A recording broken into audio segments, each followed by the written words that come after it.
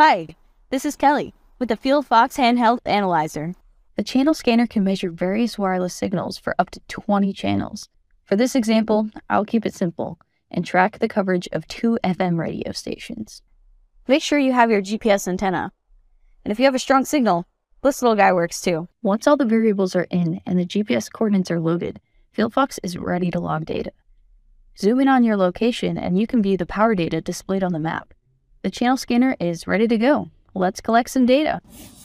Safety first. You ready? As I start driving, you can see the power levels start to change. These are recorded on a scale from deep blue to dark red. The GPS pins get warmer as power level increases.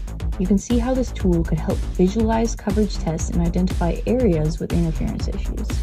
Catch you next time.